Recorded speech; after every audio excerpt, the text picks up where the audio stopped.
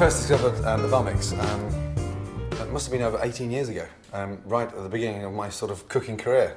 Um, slightly um, nervous about the thing at first, um, didn't fully understand its versatility, and then I got attached to it within weeks. The idea of running a professional kitchen and not having um, these things littered around um, scares me. Cooking is about finesse, lightness, uh, evolving dishes, and customers need to see that excitement on the plate every time they come to that restaurant. And I don't think my food would be where it is today um, with, um, without the Bamix.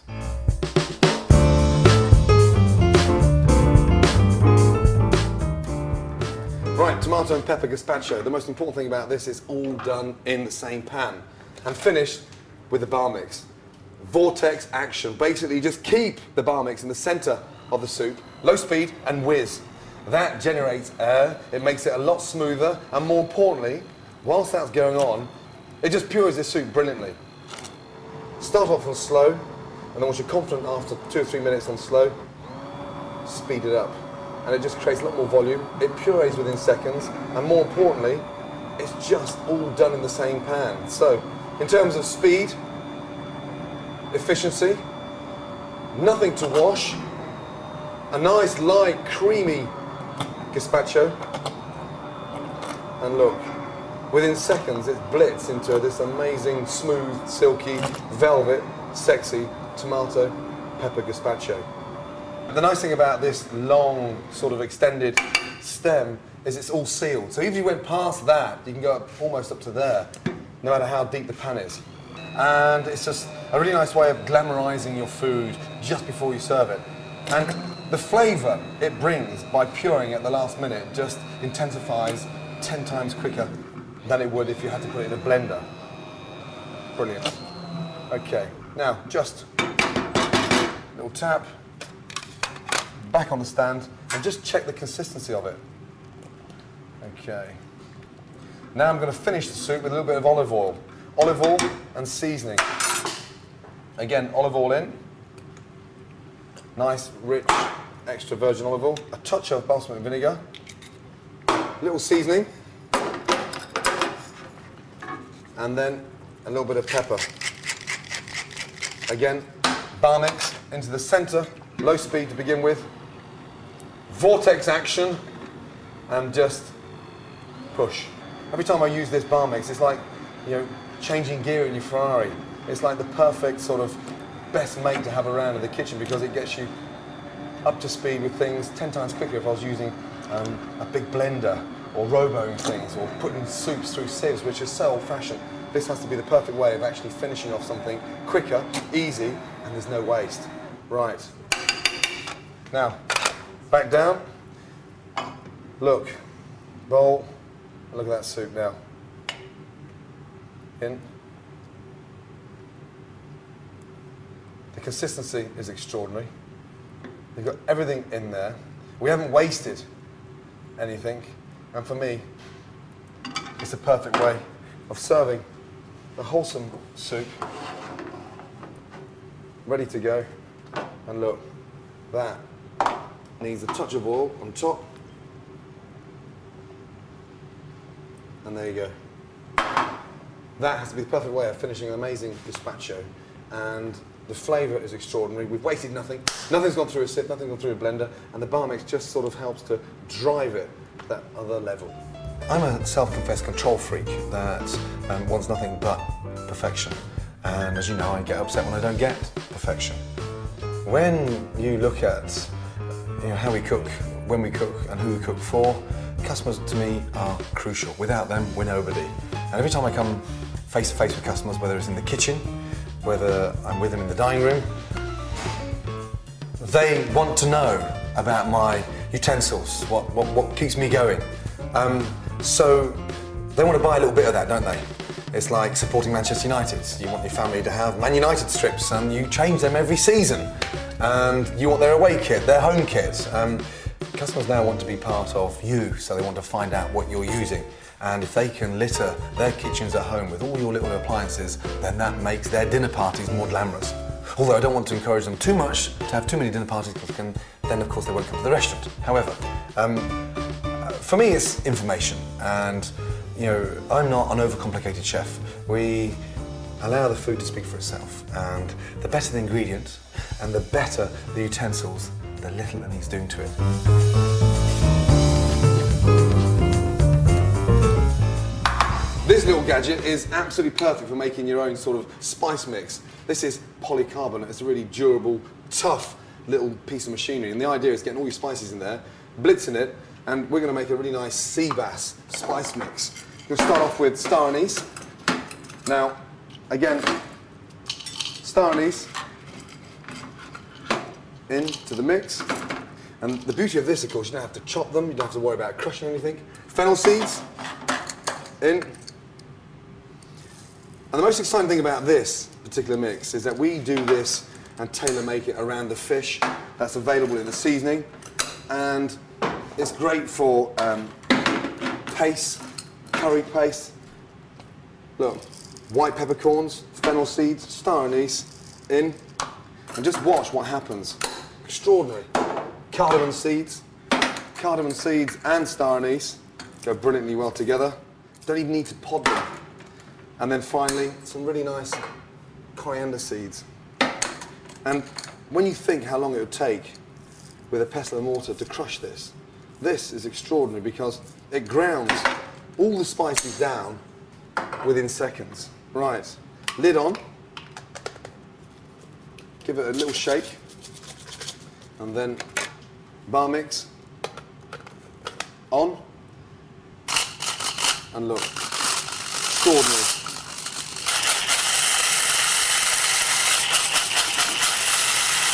Look, beautiful. See? Now, amazing. And the nice thing about it, you can actually make these spice mixes instantly. This is um, a really nice way of coating a sea bass. And look, because it's nice and fine, we're going to season the sea bass, both sides, and then into a nice non-stick pan, olive oil, and then with all that spice mix, on top of the skin, rub it in. And because it's nice and fine, we can really get it in that skin and sort of almost perfume the sea bass. And it just smells amazing. It's not even cooked yet. Skin side down, non-stick pan, and look. Now this is the most amazing mix for fish, especially this time of year, and it is just full of flavour. The most important thing is you can vary your mixes. So great for breadcrumbs, chocolate, of course, get into a really nice fine powder, and of course coffee beans, when you want to sort of grind coffee bean, whether you're making the most amazing coffee ice cream or the most amazing espresso.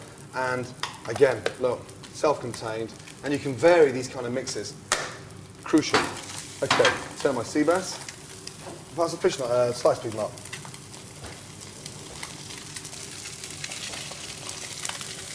Look at that. Beautiful. The smell of that is amazing. And the most important thing about this thing is that it's just quick, easy, and you can make so many different kinds of spice mix that you can have your favourite seasoning. We do it with all the chefs across all the restaurants where they sort of do their own little pick and mix. So they have their own varied little spice mix, and it's quite extraordinary how diverse that can become. And now the chefs have actually got their name on it. And it's something that it's like is it Mark Sargeant's seasoning? Is it Mark Askew? Is it Angela's? Is it mine? Because we're sort of a little bit precious when it comes to seasoning things, and this little machine is a way of sort of hiding all those little secrets in there, powder them down, and then we give them to the young cooks to try and guess the smell of the spice in there. So, perfect. Okay, sea bass, look, turn that over.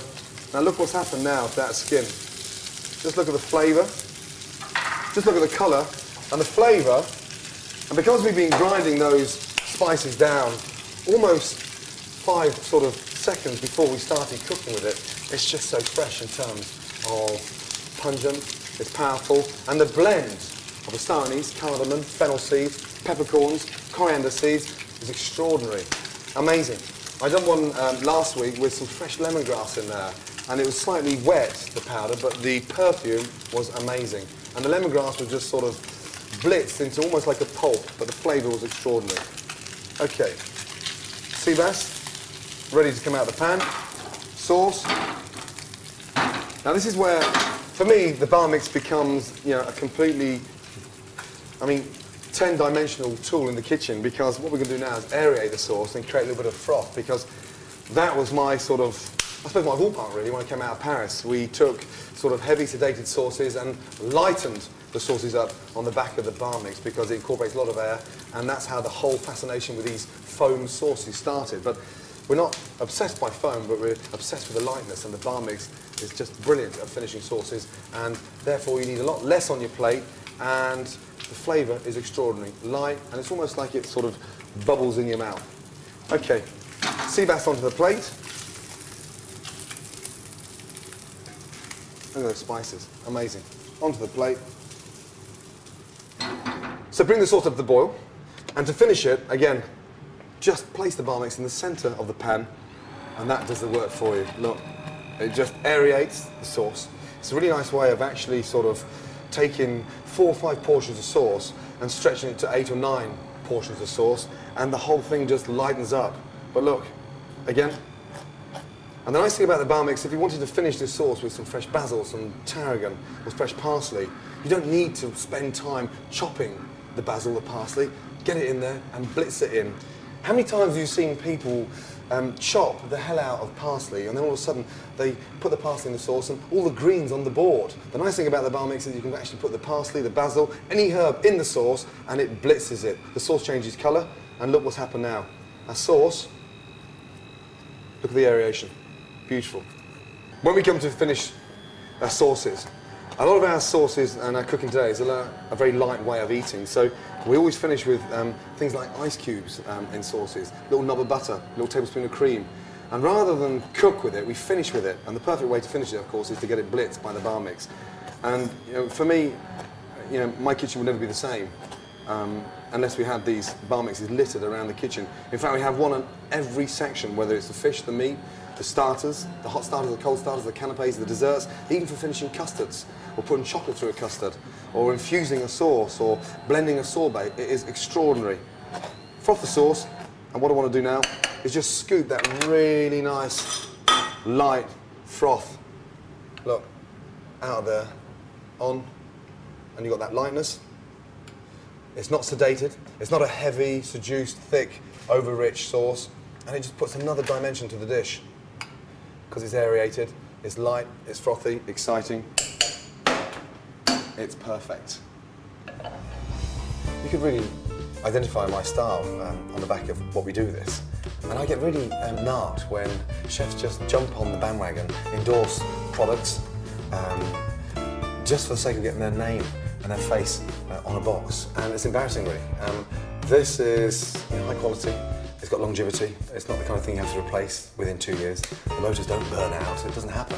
It's you know incredibly, you know, it's professional and it's diverse. So this has integrity, and I wouldn't put my name to it unless I was a been used to using them for 10, 15 years, and B, you know, it's it's me. So it's you know, it's a natural marriage and something I don't have any form of worry about because it speaks for itself.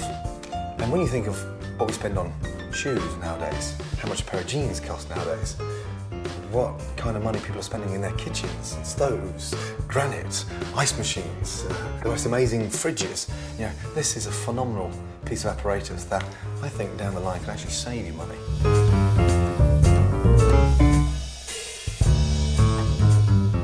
This, for me, is a little jewel in the crown because this is called the aerator. It's slightly beveled, so the secret behind this, you get a carton of skim milk and we're going to aerate that skim milk into almost like a bit of a smoothie. Then we're going to flavour that with raspberries. And it's a great way of sort of introducing fruit to kids in a way that you can somewhat disguise fruit in there. Whether you want to put a fresh peach in there, whether you want to put raspberries, blackberries, or even strawberries. But it's a really nice sort of afternoon snack that is very healthy and gets them up to speed with eating a lot of fruit early, quickly, and completely stressless to get this done. So, five minutes before you make this, just get your skim milk and stick it in the freezer so it gets really nice and cold because the colder the milk, okay, the frothier and the lighter it will become.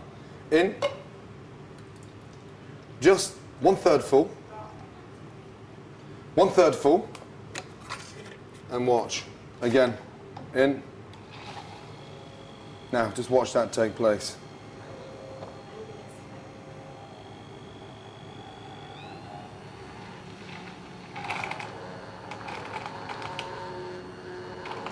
It's already starting to thicken, and now it's got the texture of double cream. Within 15 seconds of being in there, but look, I'm going to put my raspberries in there very, very quickly.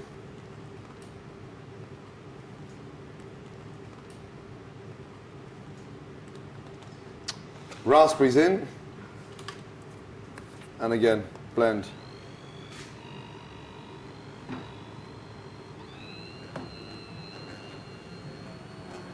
And within seconds, look at the change of colour. It smells amazing. And if you want to put a little bit of fresh basil in there, basil's raspberry and skim milk, perfect. Now look. That has to be the perfect smoothie. That's quick, easy, totally healthy, nothing but. Mm. As an afternoon snack for the kids, in between meals, that's perfect.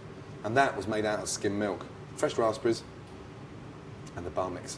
You know, I've got four kids um, under the age of um, eight, and the most important thing about looking after them is making sure that they totally understand the balance between their fruit, their vegetables, their fish and their meat, and in a way that they don't become fussy with eating.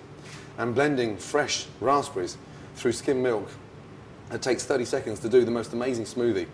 It is delicious. And they all have their favourite smoothies, but the fact it's actually made out of skim milk is healthy.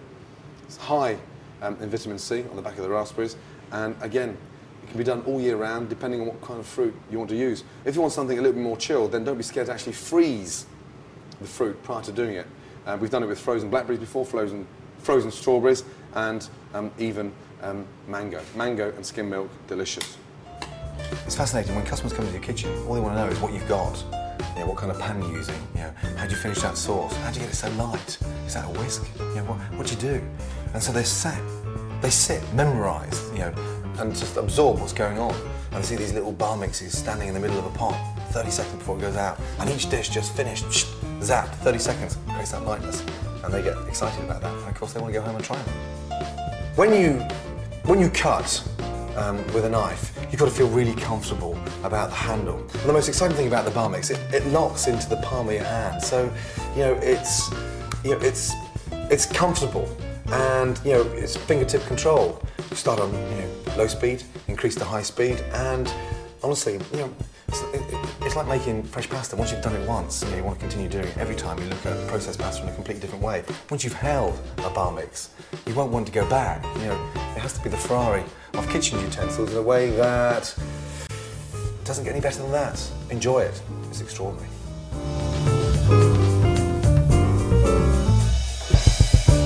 And this um, is the blending blade. Um, perfect for finishing sauces. This is um, almost um, a way of just emulsifying everything rapidly. Um, high speed again, um, stressless, painless, and just you know an amazing way of making a mayonnaise within seconds. But we're doing it with a twist. We're making it with whole eggs, and that stabilizes the mayonnaise, and it just makes it a lot lighter, a lot more uh, soothing, and so versatile.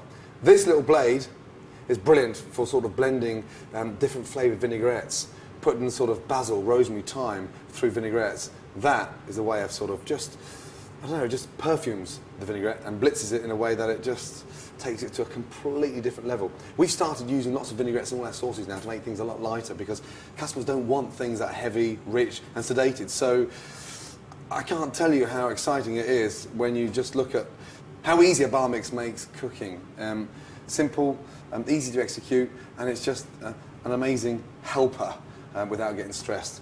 Okay, mayonnaise. One egg, one whole egg, in. Bang. And then tablespoon white wine vinegar, teaspoon of mustard. We're using grain mustard, but you can use French mustard, English mustard, and then about 350 mil sunflower oil, nice squeeze of fresh lemon juice, And again, this is where the Bamix comes into its own because you put everything into the pot. You season it now, and then attach the blender on, and then simply high speed, again, vortex action, in, and watch. Count.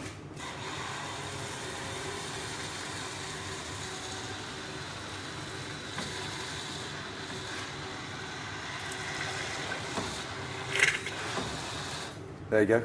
All of 10 seconds to make the most amazing mustard mayonnaise. That's great whether you're putting that through crab, whether you're doing it with fresh coleslaw. How many times have we struggled in this country to make mayonnaise because it always splits? That is delicious.